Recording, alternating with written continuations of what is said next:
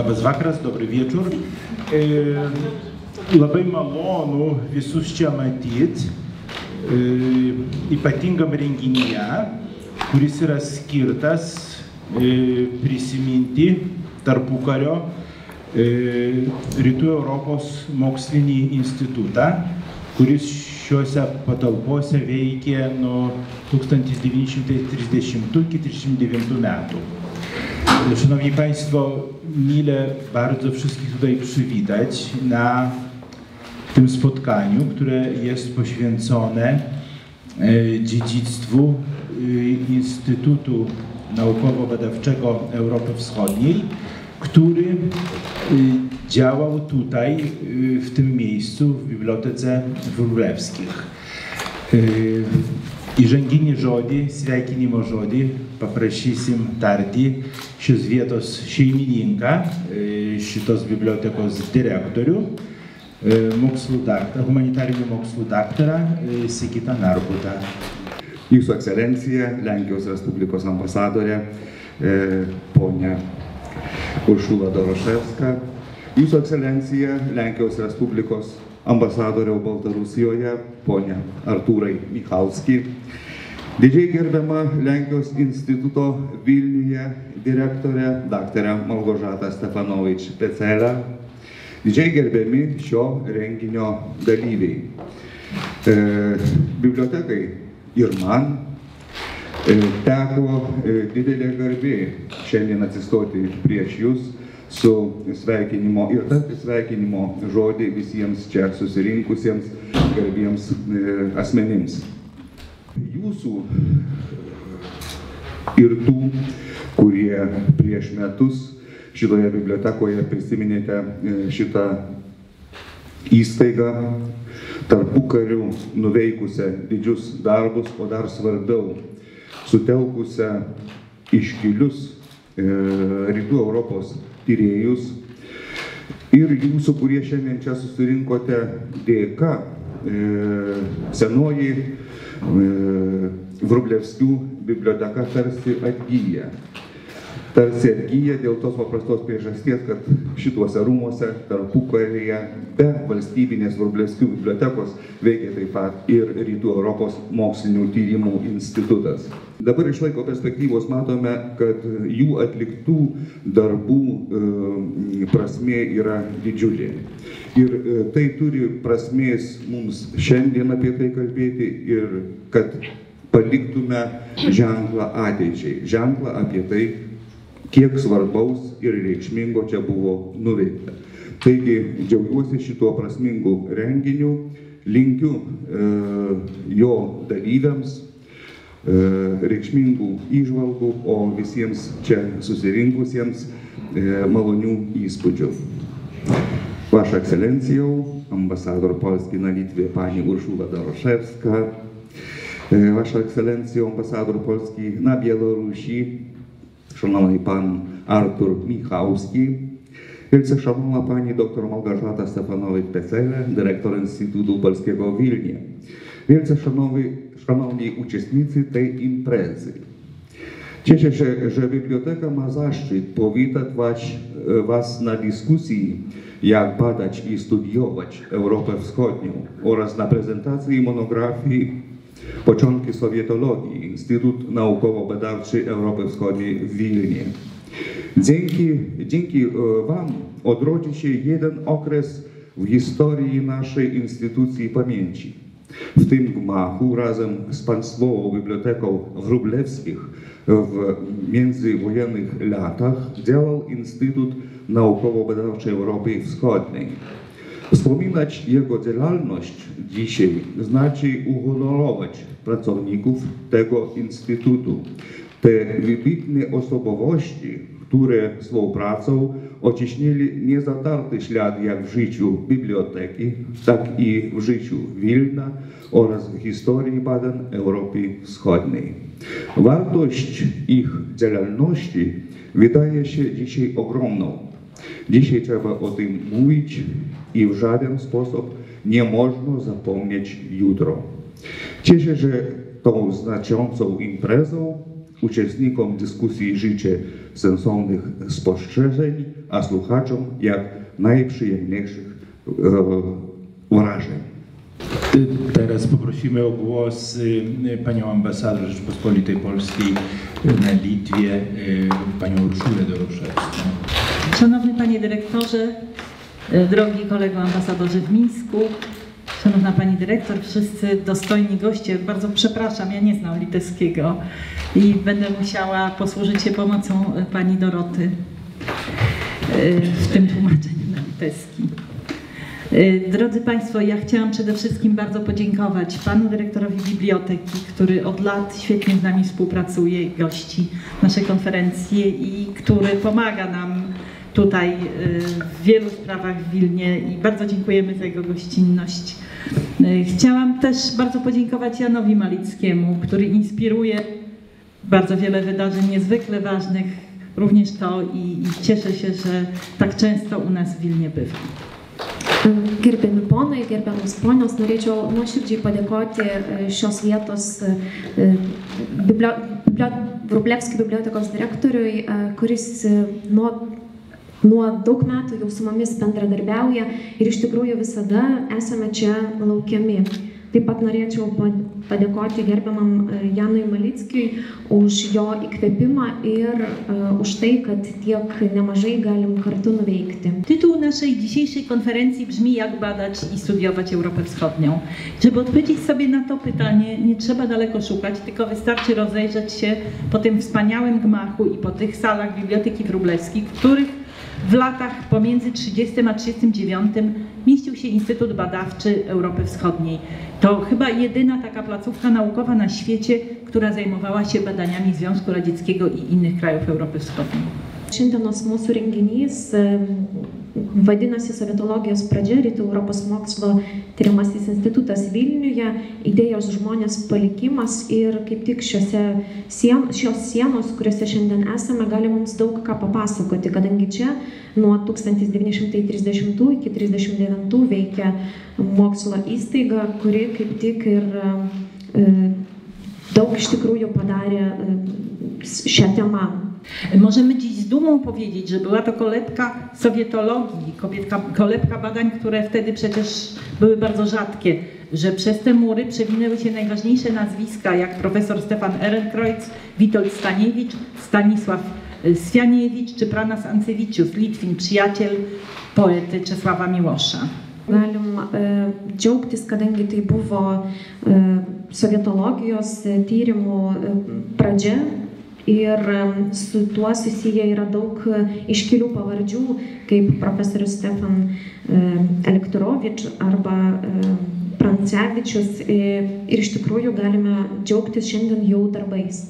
Ta fascynująca historia Instytutu jest do dzisiaj inspiracją dla młodych badaczy e, Wschodu e, i przede wszystkim dla inspiracją dla studium Europy Wschodniej Uniwersytetu Warszawskiego, które już wychowało dosłownie setki badaczy, dziesiątki dyplomatów, ekspertów od wschodu, urzędników państwowych.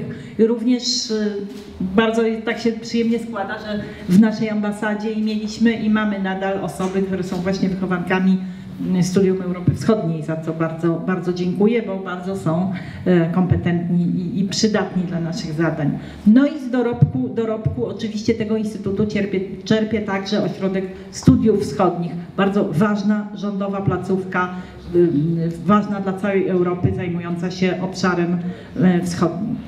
E, Iš galime pasidžiaugti, kad e, toliau e, šį darbą tęsia Varšuvos universiteto Rytų Europos studijų centras, e, kuris jau išleido ne vieną tokią mokslininkų kartą ir galime pasidžiaugti, kad studentai, absolventai jau šios įstaigos dirba taip pat mūsų ambasadoje ir tikrai na, rodo gerus rezultatus ir puikų darbą. Ir taip pat e, labai džiaugiamės, kad e, Rytų Europos studijų centras tęsia tą e, Sovietologijos Rytų Europos mokslo tyrimo instituto e, darbą ir sovietologijos tyrimus. Tuż przed początkiem pandemii odbyła się poprzednia nasza konferencja i dzisiaj prezentowana monografia jest jej efektem i dzięki temu możemy e, zobaczyć jak tworzył się ten pierwszy polski think tank i jacy ludzie brali w tym udział. Galime pasidžiaugti, kad dar prieš pandemiją e, turėjome tokį didelį renginį, kurio monografiją kaip tik šiandien ir pristatome. Ir mm, tas e, renginys e, šiandien, šiandieną irgi turi savo aidą kaip tik čia. Jedno jest pewne, że ci, którzy zajmują się dzisiaj e, wschodem Europy, e, na pewno będą mieli wiele do roboty, nie będą się nudzić. Jest, mm, historia bardzo przyspiesza. E, Relacje z Rosją, Białorusią, Ukrainą, krajami Kaukazu to dzisiaj kluczowe zagadnienia polityki Polski, Litwy i, i naszego regionu.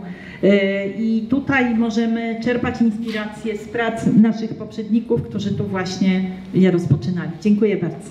Tas e, tyriamasis darbas toliau tęsiasi, kadangi bendradarbiavimas su rytų Europos šalimis ir toliau tęsiasi ir turi iš tikrųjų labai didelę reikšmę ir šiandien.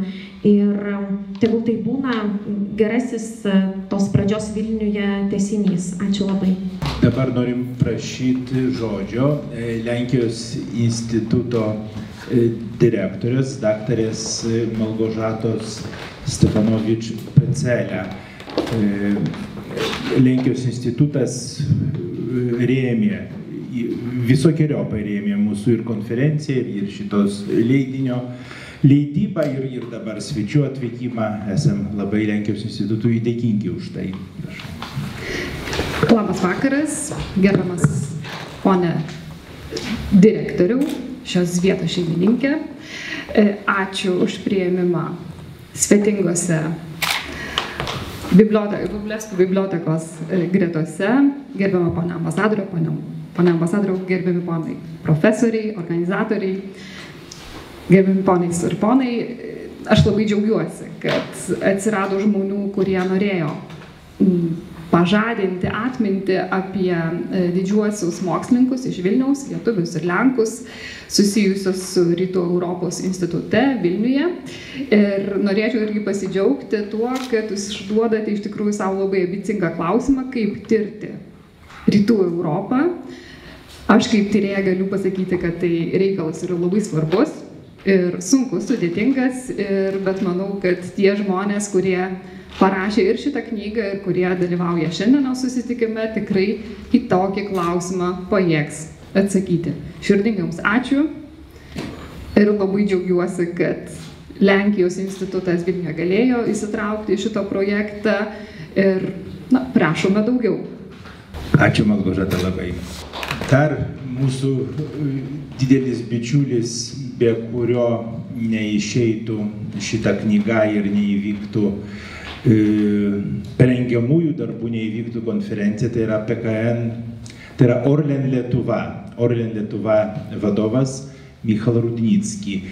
E, Sponsorem i konferencji, i współfinansorem, też współsponsorem e, wydawnictwa jest PKN Orlen, właściwie Orlen Lietuwa i dzisiaj jest z nami szef e, Orlen Lietuwa Michał Rudnicki. Będziemy prosili go, żeby też kilka słów e, powiedział. Labas vakaras, dobry wieczór. Ekscelencjo Pani Ambasador, Ekscelencjo Panie Ambasadorze, Pani Dyrektor, Panie Dyrektorze, gerbiami svečiai. E, Be galo malonu, kad Orlen Lietuva, bendrovė, kurie atstovauju, nutolusi nuo Vilniaus labai labai iš tolimos Žemaitijos, iš Mažeikių, galėjo prisidėti prie, prie šios inicjatywos. Jest mi niezmiernie miło, że spółka, którą reprezentuje Orlen Lietuva, chociaż siedzibę ma daleko stąd na Żmudzi, mogła przyczynić się do tej światłej inicjatywy ir be galo svarbu, kad stambus Lietuvos verslas kaip e, Mažeikių nafta, kaip Orlen Lietuvos gamykla gali prisidėti prie tokių renginių, kad prisidėdam ne tik tai prie krepšinio, kaip visi žino, bet prie, prie tokių mokslinių iniciatyvų, kadangi savo socialiniai veiklai mes visada ieškom tokių inicjatywu Kurios Jungia, mūsų abidvi tautas. Jest mi tym bardziej miło, że jako litewska najpotężniejsza firma z polskim kapitałem możemy wspierać także inicjatywy naukowe, nie tylko sport, z którym jesteśmy kojarzeni, ale także naukę, ponieważ w swojej działalności, działalności CSR-owej staramy się szukać inicjatyw, które łączą nasze obydwa narody. Więc jeszcze raz bardzo dziękuję za zaproszenie do tej inicjatywy i życzę wszystkim y, miłych i owocnych obrad. Dobrowieczu.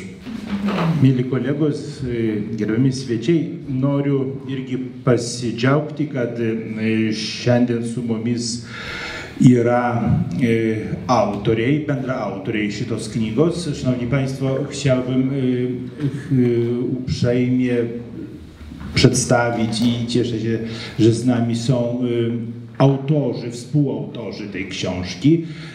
To znaczy oprócz tutaj wspomnianego szefa Studium Europy Wschodniej Uniwersytetu Warszawskiego Jana Malickiego jest też profesor tej placówki Leszek Zasztoft i autor jednego z artykułów o profesorze Wiktorze Sukiennickim. Jest z nami też pani profesor Henryka Ilgiewicz, tutaj Instytutu Badań Kultury Litwy. Gerbiami dar sėki noriu užakcentuoti, kad su mumis yra knygos autoriai. Iš Varšuvos, iš Varšuvos universiteto atvyko profesorius Lešek Zaštovt, gerbiama ponė Enrika Ilgievič yra čia vietoje iš Lietuvos kultūros tyrimo instituto. Taip pat yra su mumis gerbiamas Rimantas Miknys, kuris šioje knygoje parašė straipsnį apie Marijaną Zdechovskį. Dar noriu pasakyti labai atsakingai, kad parašė man ilgą e-mailą Tomas Venslova. Tomas Venslova dalyvavo konferencijoje ir jo autoristės yra straipsnis apie Praną Antsevičių. Tomas Venslova negalėjo atvykti, nes šiuo metu yra Krokuvoje, ten pristato labai įdomią knygą apie Česlovą Milošą ir, ir ten yra labai užangažuotas. Su mumis šiandien yra prisiminimų apie tėvą autorė gerbiama profesorė Inge Lukšaitė.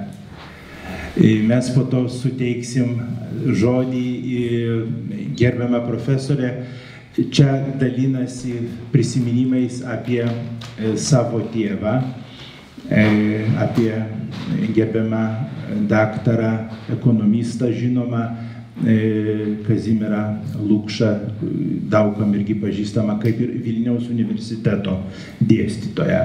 Szanowni Państwo, z nami też jest pani profesor Ingie Lukszejdzie, której tatuś tutaj pracował, był pracownikiem naukowym, ekonomistą, pracował razem z profesorem Stanisławem Swianiewiczem.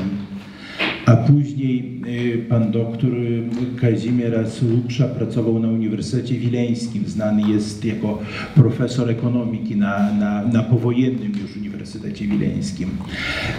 Z nami też jest pani doktor Irena Miklaszewicz, która była recenzentem tego tomu i, i, i dobrym duchem w każdym tego słowa, w każdym tego słowa znaczeniu. Nie wiem, kogoś, kogoś jeszcze. chyba pominęłam.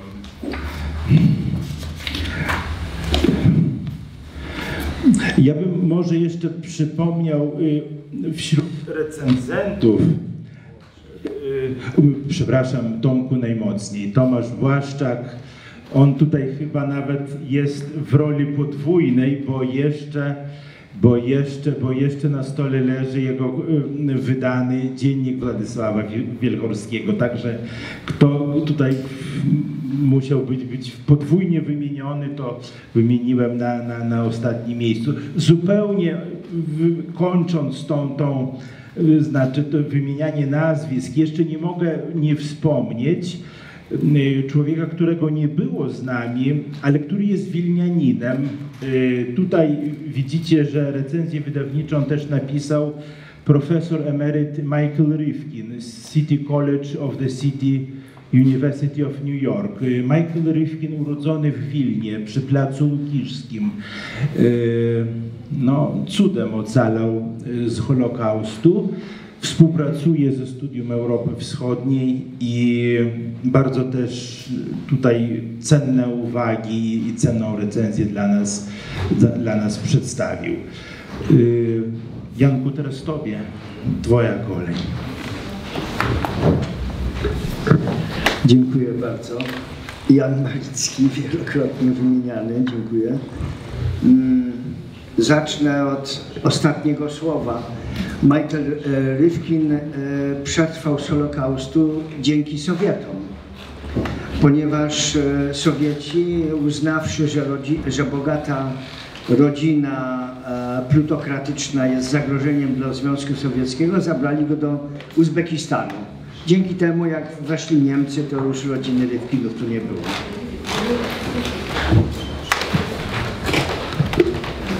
Iš tikrųjų pradėsiu nuo, galo, kad e, apie Maiklą Rifkiną, e, kad jis e, iš tikrųjų išgyveno tik tai sovietų valdžios dėka. O kaip tas atsitiko, kadangi kai sovietai, žodžiu, nusprendė taip, kad Maiklo Rifkino šeima yra įtakinga ir e, turtinga ir dėl to išsiuntė ją į Uzbekistaną. O kai jau vokiečiai įžengė į Vilnių, tai jo šeimos čia nebuvo. Tai todėl jisai ir išgyveno holokaustą. Spotkaliśmy się w tej samej, e, w tej samej sali półtora roku temu, w e, ostatnich dniach lutego 20 roku, dokładnie w 90. rocznicę założenia Instytutu Wschodniego, e, Instytutu Wschodniego w Wilnie. I nieznanymi albo znanymi wyrokami opatrzności udało to się zrobić Dzień przed tym, jak na Litwie wybuchła, zaczęła się pandemia. Kiedy wróciłem do Warszawy, telewizja polska przyniosła wiadomość, że jest pierwszy wypadek COVID-19 na Litwie i to w dodatku na lotnisku. Mes susitikome su Maiklu čia prieš pusantrų metų šitoje salėje ir tai buvo devi- 90-metis būtent e, e, Sovietų Rytų Europos mokslo tyrimojo instituto Vilniuje įkūrimo 90-metis konferencija, kurią pavyko e, turbūt Dievo dėka įgyvendinti dar iki pandemijos pradžios. Ir jau grįžęs į Varšuvą išgirdau žiniuose, kad Lietuvoje yra aptiktas pirmas e, COVID-19 atvejis. Zatem gdybyśmy to zaplanowali parę dni wcześniej, już by się nie udało. Tad jeigu suplanuotume tai e, šiek tiek vėliau, tai nepavyktų to įgyvendinti. A dlaczego to takie ważne? Z Andrzejem Puchsztą, któremu serdecznie dziękuję za wielki wkład w tę sprawę, zrobiliśmy pewnie już kilkaset konferencji. Zatem dlaczego akurat ważna była ta? Kodėlgi ši konferencija, ta konferencija buvo tokia svarbi, kadangi mes su gerbiamu Andžėju Pukštu jau ne vieną konferenciją suorganizavę esame, bet kodėl būtent ta konferencija buvo tokia svarbi. Ano dlatego, że poza zwyczajną sesją naukową ta konferencja zgromadziła świadków nieomal, zgromadziła dzieci, wnuki, prawnuki, twórców, profesorów, działaczy Instytutu Wschodniego w Wilnie. O dėl to buvo tokia svarbi, kad e, be to, kad čia susitiko mokslininkai, e, tyrėjai, čia susitiko, ši konferencija surinko be maž liudytojus to e, e, būtent e, Rytų Europos mokslo tyrimo instituto Vilniuje, kadangi ten susirinko vaikai, anūkai, e, tų žmonių, kurie dirbo ir kūrė tą institutą.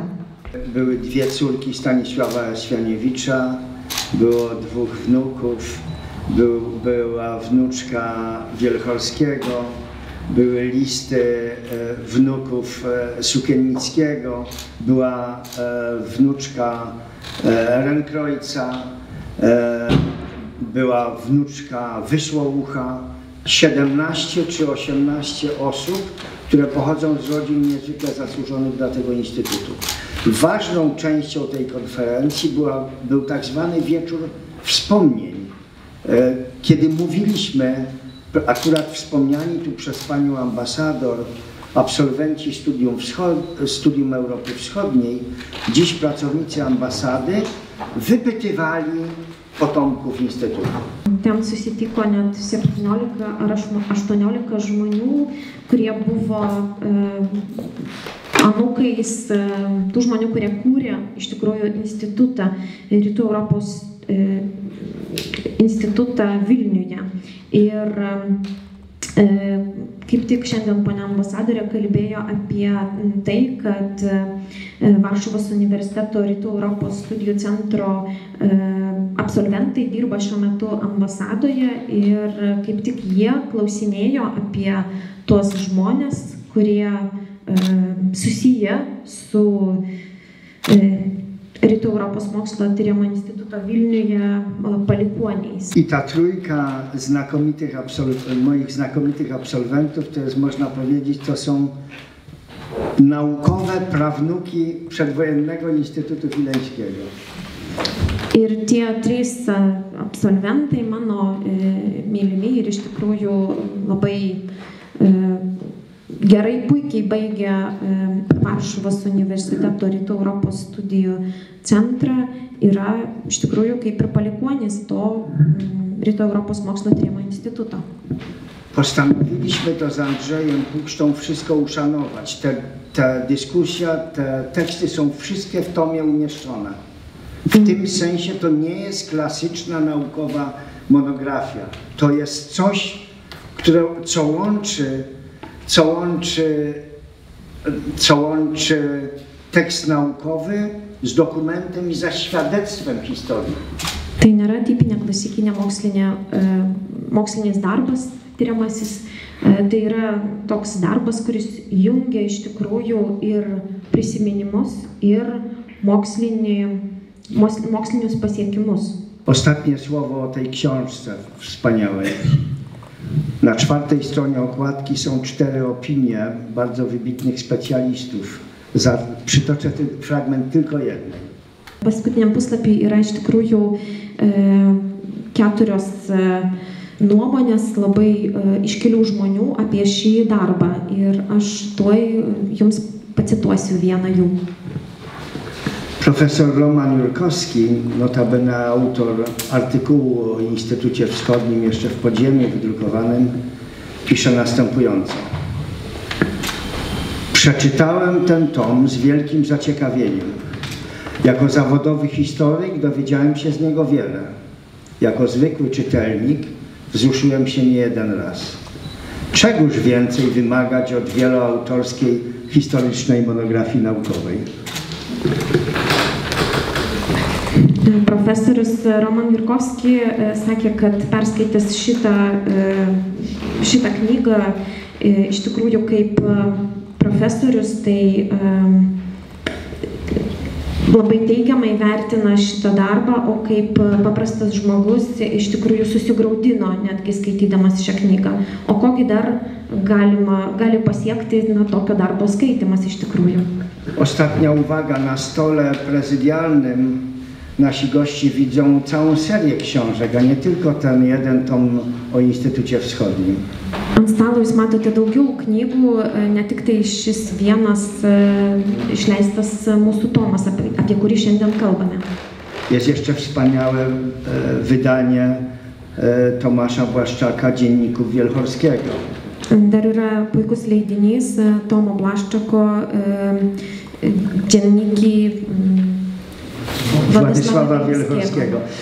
Ym, Pozostałych kilkanaście innych wynika z tego, że Studium Europy Wschodniej miało w zeszłym roku jubileusz 30-lecia. Mm, Kiti leidiniai susijęs su tuo, kad Varšuvos uni- universiteto Rytų Europos studijų centras pernai šventė savo 30-metį. ponieważ COVID uniemożliwił prawdziwe obchody, więc naszym jubileuszem będzie seria 30 tomów na 30-lecie. Kadangi e, COVID-19 lyga e, protrukis na, neleido tinkamai e, šios progos kaip ir išgyventi, tai mes norėjome tą 30-metį paminėti kitaip, tai yra išleisti būtent 30 tokių leidinių, tai yra 30-mečių 30 leidinių. Namawiam wszystkich, żeby oglądać, radować się, ale nie, nie zabierać, ponieważ Visiems, visus kviečiu pasižiūrėti, pačiupinėti, tačiau neimti su savim, kadangi ponieważ to będzie na koniec mój dar dla Biblioteki Wróblewskiej. kadangi čia bus mano dovana Vrublevskių bibliotekai.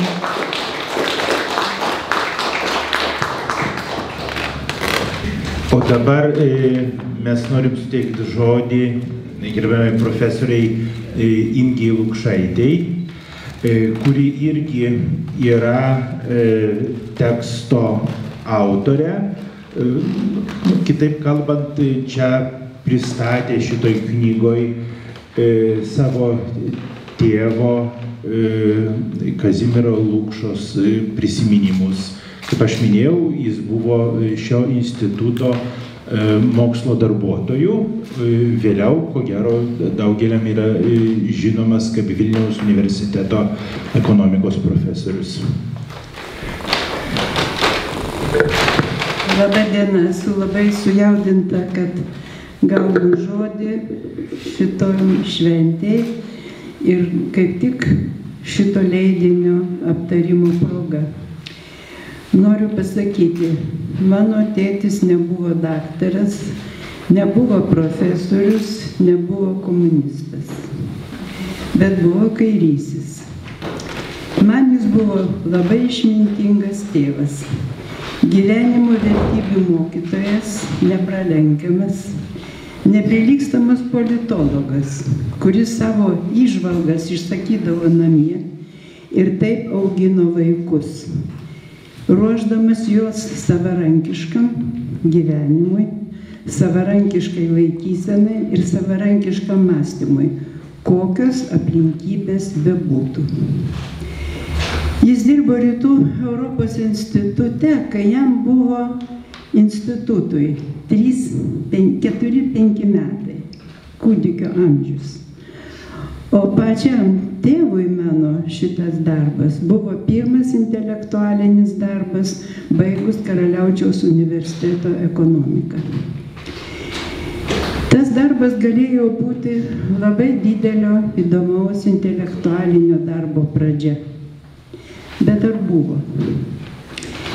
Kazis Lukša buvo baisaus 20-ojo amžiaus žmogus ir ypač audringos pirmosios jo pusės to amžiaus asmenybė. Ir jį lietė visi sukūrėjai. Mano tėvas gimė prieš pat pirmąjį pasaulinį karą Lietuvoje, Dzūkijoje, lietuvių šeimoje, kalbančioje lietuviškai, bet noriai besimokančia kitų kalbų. Močiutė Jėva mokėjo lenkų ir įdiš, nes draugė turėjo ir kalbėjo jos kalbą. Ir ta, tos draugės neužmiršo net iki mirties, mirė 99 metų. Senelis Ignas mokėjo rusų ir lenkų. Karui prasidėjus, iš karto jisai sujaukė šeimos gyvenimą. Tėvui buvo aštuoneri metai, kai tėvą kartu su Leipalingio dvaro arkliais rekvizavo rusų caro kariuomenę ir pakeliu į kažkur jisai žuvo. Atėjo žinia į šeimą, kad Igno Lukšos nebėra. Motina pasiemusi du vaikus be pragyvenimo šaltinio, iškeliavo karo pabėgėlių keliais ieškoti ar galbūt dar yra gyvas tėvas. Rado tik tai pasakojimą apie jo mirtį, kur kapas nežinom. Tada tėvą augino Voronežo lietuvių pabėgėlių bendruomenė, gatvė ir Voronežo lietuvių mokykla. Tai buvo pagrindinis jo išsilavinimas.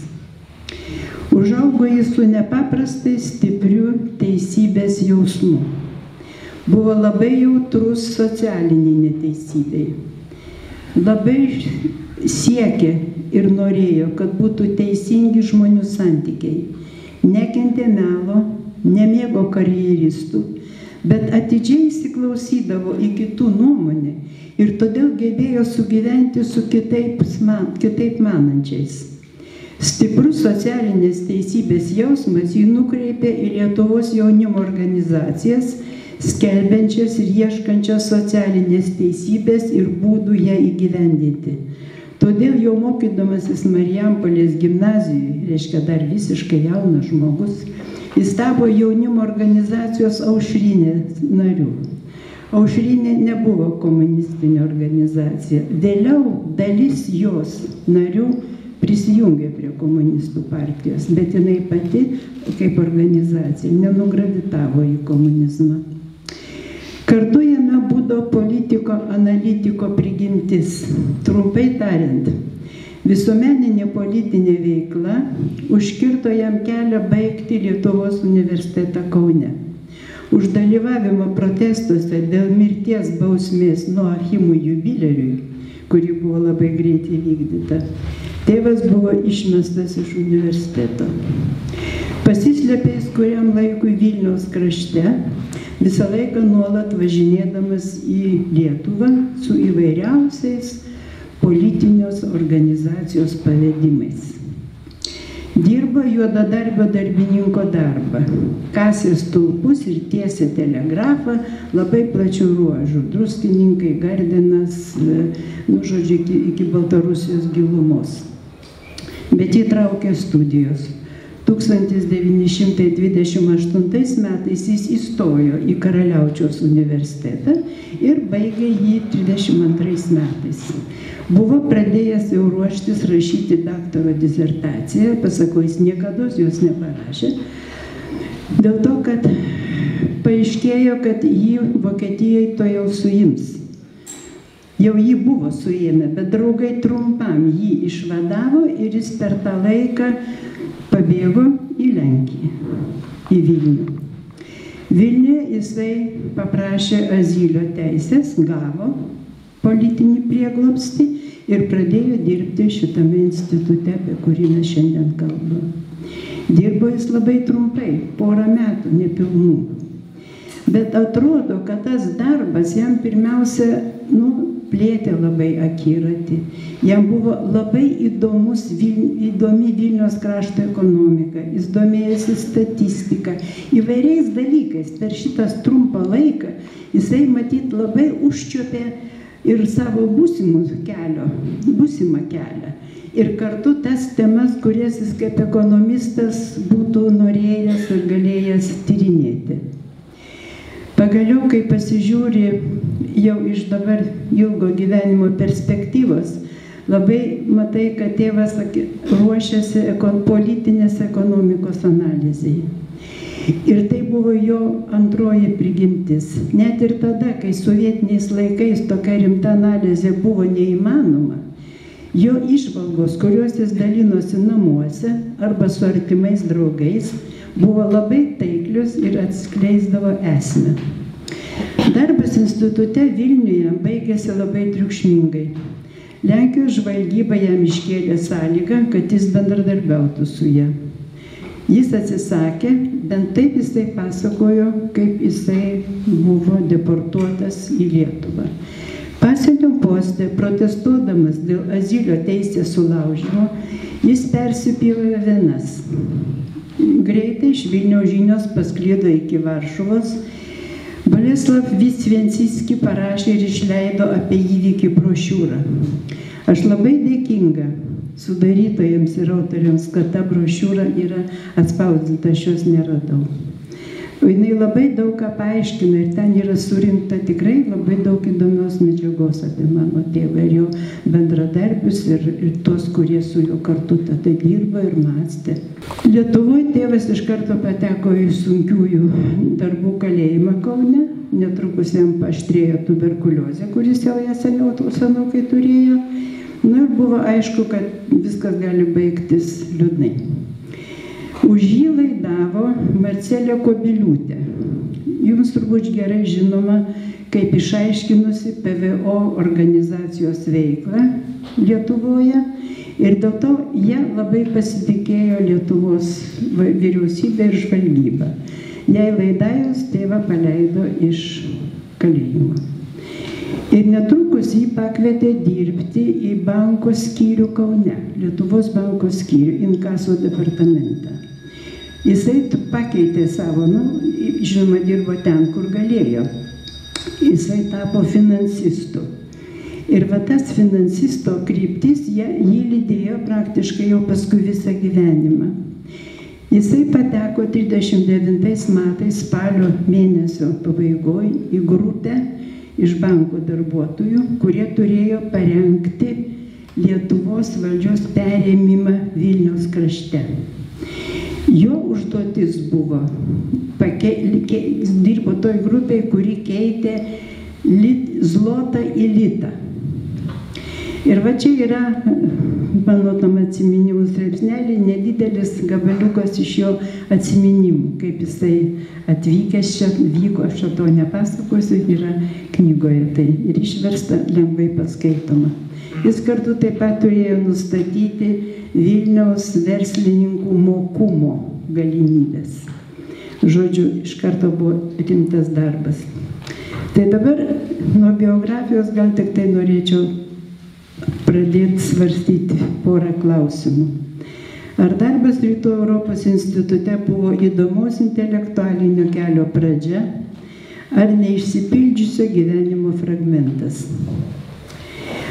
Kai pasižiūri į praeitį, galima būtų pasakyti, kad tų gabumų, kokius turėjo tėvas, išvalgas, išminti, nepaprastą intelektualinį pajėgumą, jis tikriausiai neįgyvendino. Bet antra vertus, matau, kad jo palikimas yra toks nematomas, bet jaučiamas.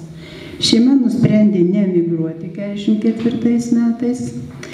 40, 44, 40 metais, kai pradėjo darbą Vilniaus universitetas, tėvą pakvietė, be jokio laipsnio jis neturėjo. Ir jis dirbo universitete 30 metų, be jokio laipsnio, nors buvo gavęs 45 metais docento vardą, bet tai buvo tik vardas. Tačiau tėvas per tą visą laiką labai atidžiai sekė politinę panoramą. Jis rinko duomenis iš įvairiausių periodikų. Čia turiu pažymėti dienraštį politiką, leidžiamą Varšuvai. Labai sekė vykstančius ekonomikos ir demografijos pokyčius ir Sovietų sąjungoje ir Lietuvoje. Domėjosi naujais ekonomikos tyrimo metodais. Jo vidinis intelektualinis gyvenimas buvo labai intensyvus. Jisai galėjo būti 1958 metais matematikos metodų taikymo laboratorijos prie Lietuvos plano komisijos įsteigimo iniciatorių. Tokia laboratorija buvo pirmoji Baltijos šalyse. Jam aktyviai siūlant 1966 metais Vilniaus universitete buvo įvesta ekonominės kibernetikos specialybė. 67-ais įsteigta tarp žinybinė mokslo tyrimo laboratorija.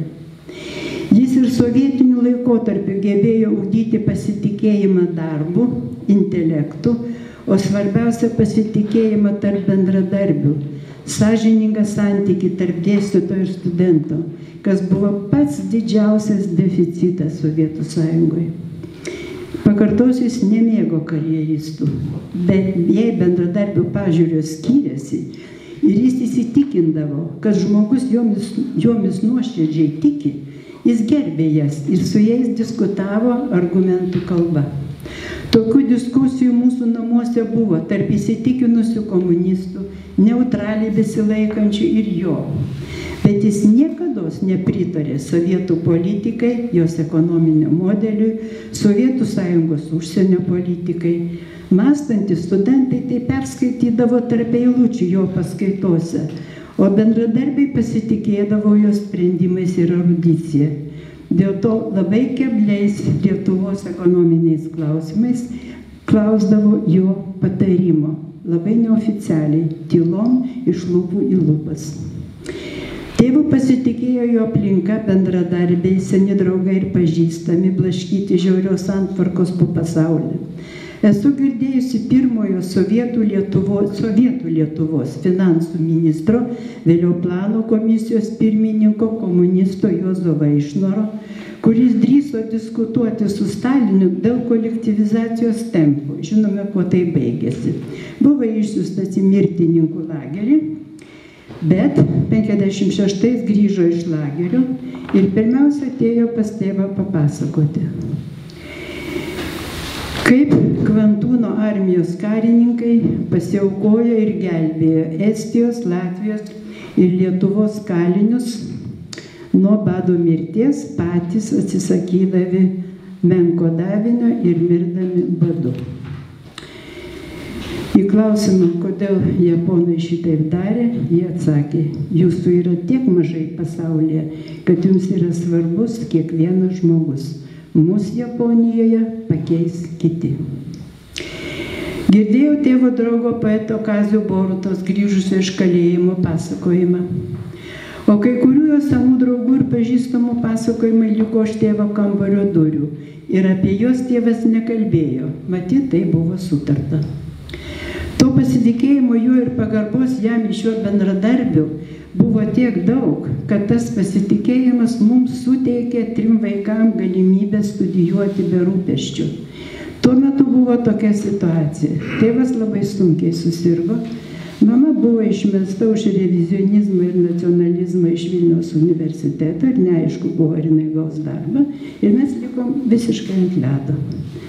Tėvo bendradarbiai pasiskirsti jo paskaitų krūvį kadangi jis negalėjo stovėti auditorijoje ir kalbėti. Ir sudarė, sudarė jam krūvį iš skaitomų kursinių, dizertacijų, diplominių ir taip toliau darbų. Ta darbą tėvas galėjo atlikti lovai ir jis taip jis liko darbe, o mes turėjom galimybę pragyventi. Žodžiu, šitie bendradarbiai ne tik tai, kad mums sudarė galimybę studijuoti, bet iš tikrųjų aš jam turiu padėkoti už tai, kad gražino pasitikėjimą žmonėmis ir moralumu. Tėvo politiniai analitiniai sugebėjimai buvo iš tikrųjų labai dideli. Aš tą nusistačiau iš tokio vieno iškaus atveju. Kai prasidėjo sovietų karas Afganistane, nesupratau, kas vyksta. Atėjau ir paklausiau. Jis tuo metu jau didesnę paros dalį buvo pusiau besąmonės. Bet jis keliom valandom prabusdavo, susirinko informaciją iš Vrėmė, iš izvėstijų, iš pravdos, iš tiesos, iš politikos, kur, nu, politika jau čia atskirai, bet iš tai sovietiniai tie leidiniai ten buvo daugiau dezinformacijos negu informacijos. Tėvas padarė išvadas, papasakojo, paaiškino man, kas yra. Ir kada prasidėjo perestroika ir kada buvo išviešinti Afganistano karo tie užkulisiai ir ką Sovietų sąjunga darė ir ką jinai siekė, atitiko. Tėvas jau buvo miręs, bet jo prognozija buvo visiškai tiksli. Tėvas nepasigėdo vardų, išorinio pripažinimo, labai vertino ir brangino darbuotojų, bendradarbių, bičiulių pasitikėjimą, jo kaip žmogum, ekonomistų, politikos interpretatorių. Iš savo mamos gyvenimo sprendimų pasirinkimų supratau, kad pačią didžiausią kainą žmogus turi būti pasiryžęs sumokėti už sažiningumą, už gebėjimą būti savimi ir savarankiškai mąstyti, už savarankišką laikyseną aplinkybių sukūriuose. Manau, kad taip tėvo gabumai buvo realizuoti, kiek leido 20 amžiaus politinis gyvenimas. Jis pats pasirinko tokią kryptį, jis pats taip nusprendė. Ir jo veiklos kryptis dabar gyvena studentuose, vaikuose, jų palikonėse. Kaip politikas jis labai apgailėjo, kad 20 amžiui nepavyko sukurti teisingos, garbingos partnerystės tarp kaimininių valstybių ir Lietuvos, tame tarpe ir su Lenkija. Jis buvo kultūrų, kultūrinių kontaktų, vaisingos kultūrinės sąveikos tarp valstybių šalininkas, bet sąveikos išplaukiančios iš lygiavertės partnerystės.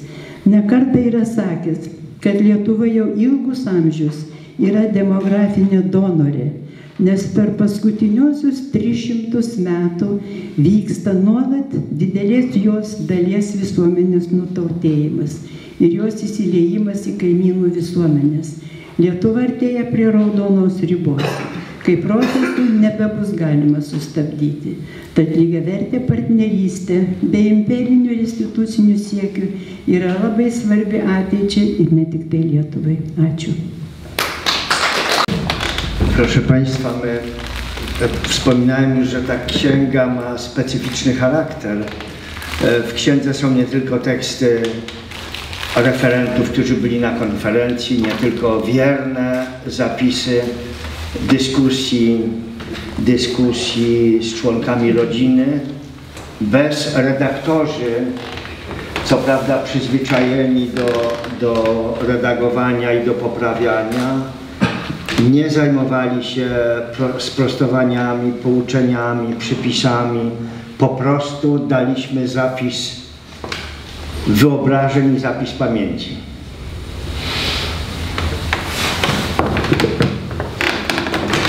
Kaip jau minėjau, šiame leidinyje yra ši unikali knyga yra unikali dėl to, kad čia, nėra tik, čia yra ne tik mokslinis darbas, bet ir prisiminimai susiję su būtent e, Europos, Rytų Europos mokslo tyrimo instituto Vilniuje e, darbais. e, Ir tai viskas yra sujungta vienoje knygoje ir tie žmonės, kurie rašė e, atsiliepimus apie šią knygą, e, jie irgi paliko čia puikų savo pėdsaką. Taki specjalny charakter ma też sprawa Kazimierza Ukrzy. Ta osoba jest bardzo, bardzo mało znana w Polsce, nawet wśród specjalistów od Instytutu Wschodniego. E, Tokiu ypatingu asmeniu, apie kurį norėčiau pasakyti, yra irgi Kazimieras Lukša, apie kurį Lenkijoje iš tikrųjų niekas nežino. Oczywiście znałem nazwisko Kazimierza Ukrzy, a nawet mówiłem o nim e, ze Stanisławem Świaniewiczem w 1991 roku. E, Iš tikrųjų, aš pažinojau šitą e, pavardę ir kalbėjau su Kazimieru Švenevičiu e, apie šį žmogų anksčiau. Ale szerzej sięgnęliśmy do dokumentacji dopiero po konferencji i wtedy też dotarliśmy do pani profesor Ingie Ukrzajte. E, Bet ištyrėme šį na, žmogų, išty, daugiau informacijos gavome po konferencijos susitikę su gerbiama Inge Lukšaitė. Pani profesor zapewne pamięta, jak odpowiedziałem na jej pytanie, czy wszystko można wydrukować w tym tomie. E, Ir ponia profesorė tikriausiai prisimena mano atsakymą į jos klausimą, ar viską galima išspausdinti šitame tome. E, Korzystam z okazji, żeby tu podziękować mojemu asystentowi Denisowi Kucence, który miał wielki wkład w poszukiwaniach wszystkich materiałów związanych z, Kazimier z Kazimierzem Łukszą. Naudodamasis progą norėčiau padėkoti savo asistentui e, Denisui Jakucenko, kuris e, tikrai labai daug medžiagos e, peržiūrėjo, ištyrė, ieškodamas informacijos apie Kazimierzą, Kazimierzą Lukšą. Proszę Państwa, ta spra sprawa Kazimierza Łukszy wzburzyła niewiarygodnie przedwojenne środowisko sowietologów, polskich sowietologów wileńskich. E, Iš tikrųjų, e, šitas e, Kazimiero Lukšos ta, ta idėja, tas būtent paieškos informacijos apie jį pažadino labai daug iš tikrųjų žmonių ir suinteresuotų žmonių, kurie irgi žinojo tos instituto, na, apie tą veiklą instituto. I to trwało do tej pory.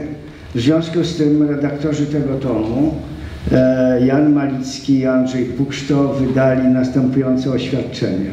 E, Ir būtent šita visa medžiaga nugulė šitame tome ir redaktoriai šito leidinio Jan Malicki ir Andrzej Pukšto paliko tokį užrašą.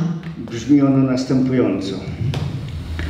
Kilka miesięcy po wydaleniu Kazimierza Rzeczypospolitej Polskiej ukazała się broszura Bolesława Wita Święcickiego, wspomniana przez panią profesor, pod tytułem Zdeptane prawo azylu, której treść w całości zamieszczamy w niniejszym tomie.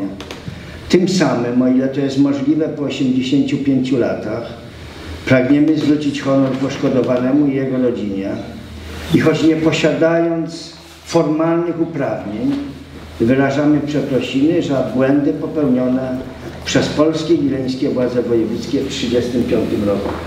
Praėjus keliems mėnesiams nuo skandalingo Kazimiero Lukšos ištrėmimo iš Lenkijos Respublikos teritorijos pasirodė Vilniaus žurnalisto Boleslavo Vito Šventickio brošiūra Paminta prieglopščio teisė. Jos turinį čia perspausdiname. Nors tai daugiau nei 85 metų senumo įvykius, įvykis, tokiu būdu stengiamės gražinti garbę, jei tai yra įmanoma, nukentėjusiam mokslininkui ir jo šeimai. Taip pat norime atsiprašyti už Vilniaus vaivadijos klaidas padarytas 1935 metais.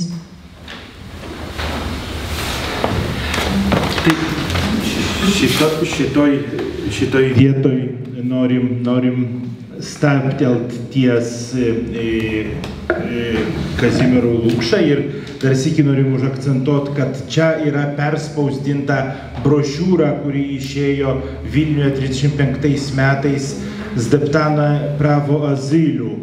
Tai yra paminta prieglopščio teisė. Šitą visą brošiūrą yra čia perspausdinta. Dar sėki dėkojam gerbiamai Ingė Lukšaitė, kad, kad e, perdavė mums spaudai e, atsiminimus ir, ir kad šiandien atvyko. Labai Jums ačiū dar kartą.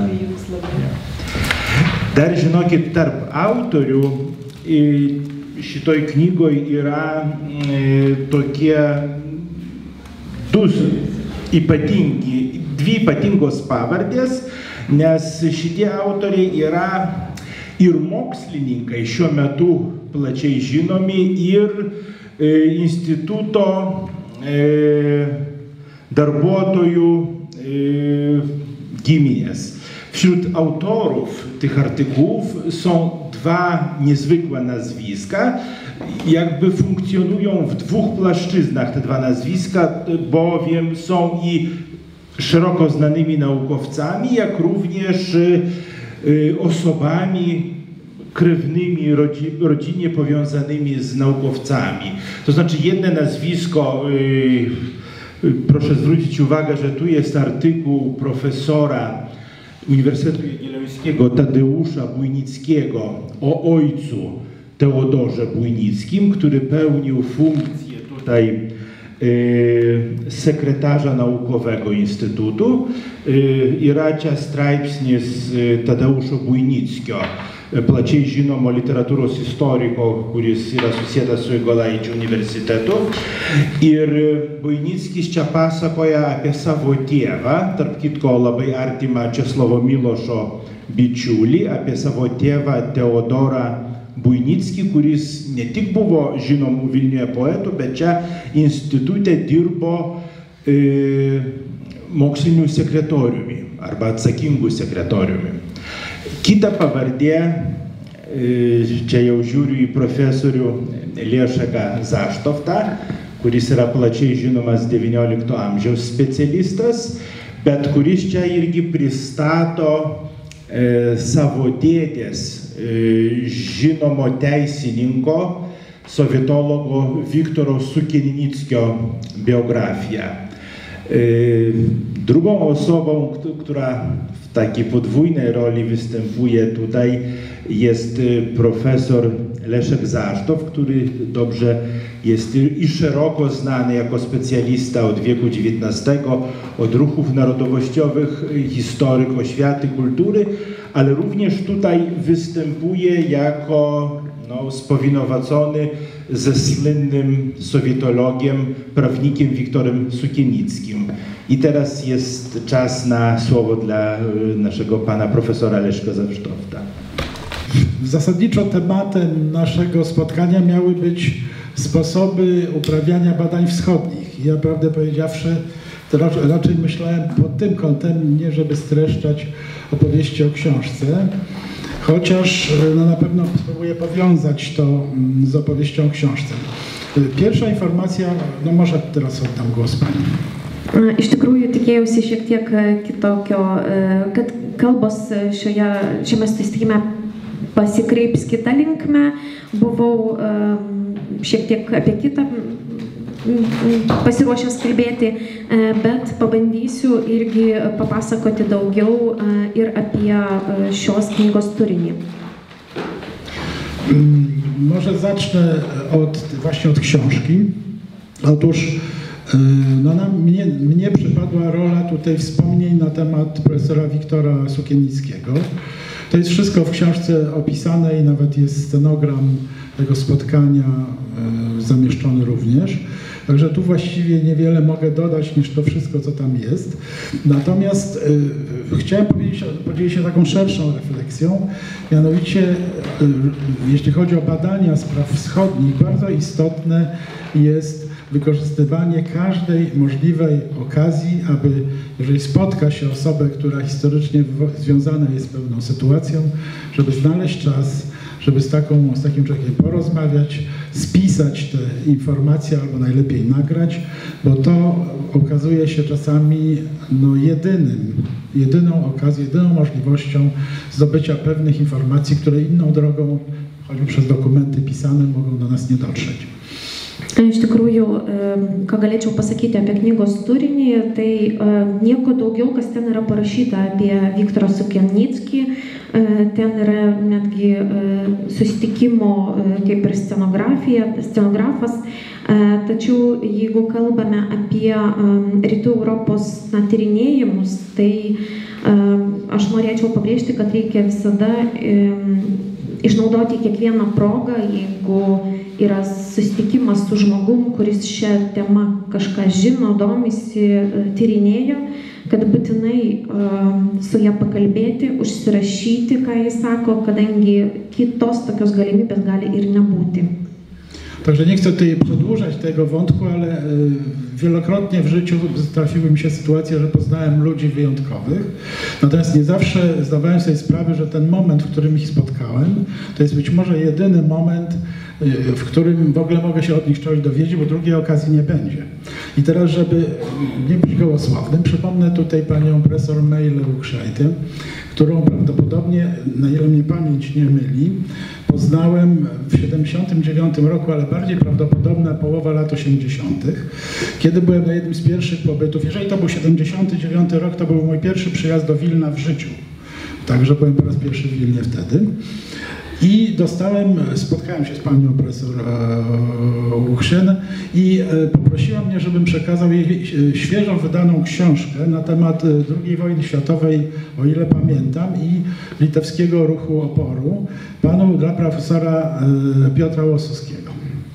Ja pamiętam, że była tam dedykacja, też nawet pani profesor Uchrzyn dla profesora Łosowskiego, oczywiście przyjechałem, przy książkę przywiozłem, ale po co mówię to? Dlatego, że ja na przykład uważam, że szkoda, że wtedy nie porozmawiałem z nią dłużej. To był mój pierwszy pobyt. By, byli ludzie, z którymi mogłem porozmawiać dłużej. Taką, taką postacią dla mnie był na przykład obecny profesor Egidius Aleksandrowicz, czy obecny profesor Antanas Kołakauskas, ale nie wszyscy. I ja trafiłem jeszcze na czasy, kiedy jeszcze żył profesor Merkes, także miałem możliwość wymiany informacji, dowiedzenia się wielu ciekawych rzeczy od ludzi, którzy już jak gdyby schodzili z, później z areny naukowej. I opowiadam o tym wyłącznie po to, żeby uczulić Państwa, że, że takie okazje trzeba łapać, trzeba je wykorzystywać, bo później się może okazać, że drugiej możliwości nie będzie. Norėčiau prisiminti savo pirmąjį apsilankymą čia Vilniuje. Čia tai buvo apie 80-uosius metus ir tada susitikau su gerbiama profesorė Marija Lukšienė ir Meilė Lukšienė Meilė Lukšienė ir perdaviau jai knygą apie antrąjį pasaulinį karą su dedikacija Piotro Losovskio ir iš tikrųjų nežinojau, kad čia mano toks na, pirmas ir galbūt vienintelis susitikimas su šia iškelia asmenybė. Taip pat vėliau um, turėjau galimybę susitikti su pranta, profesoriu Antanu Kolakausku, profesoriu Merki, Merkiu. Ir iš tikrųjų, jeigu žinočiau, kad šitie susitikimai gali būti ypatingi susitikimai su ypatingais žmonėmis gali atsitikti tik vieną kartą gyvenime, tai būtinai išnaudočiau tas progas ir kuo daugiau išklausinėčiau a, tuos žmonės apie tą temą, kurie jie žino. Ir dėl to norėčiau um, jums visiems kaip ir pabrėžti, pasakyti, kad tokių progų gyvenime nepasitaiko dažnai ir jas visada reikia išnaudoti, jeigu sutinkam įdomius žmonės. No i żeby już nie przedłużać, to zacytuję poetę księdza Twardowskiego, to jest bardzo modny wiersz w Polsce. Śpieszcie się kochać ludzi, tak szybko odchodzą. Ir dabar pacituosiu kunigo Tvardovskio poeziją. Skubėkite mylėti žmonės, taip greitai jie išeina. No i tyle. Dziękuję bardzo. Tai, tai iš mūsų čia pusės tai ko gero ir, ir, ir tiek būtų. Szanowni Państwo, z naszej strony tutaj byłoby chyba i tyle. Jeśli ktoś, nie wiem, chciałby czy zapytać coś, czy udokładnić, czy, czy sprostować, to, to bardzo, bardzo prosimy, czy uzupełnić. Noriu irgi pasakyti, kad knyga nėra parduodama. Čia kiek turim egzempliorių išdalinsim, jeigu kam pritrūks, tai aš tiesiog surašysiu kontaktus ir mes po to atsiųsim papildomai. Nes šiaip platinam, Varšuvos universitetas platina nemokamai. Jeśli ktoś z Państwa dzisiaj jeszcze nie otrzyma, zabraknie egzemplarzy, bo tak może być, to ja tutaj notuję adresy i kontakty i później te, te, te, te egzemplarze w ciągu października dojdą do Państwa. Jeśli, nie wiem, jeśli jakieś są jeszcze pytania, dyrektor keletą žodžių supranta. Taigi, mėlyje, noriu pasinaudoti progą, kad dar e, neišsiskirstėme, kad aš matau jūsų žybančias akis.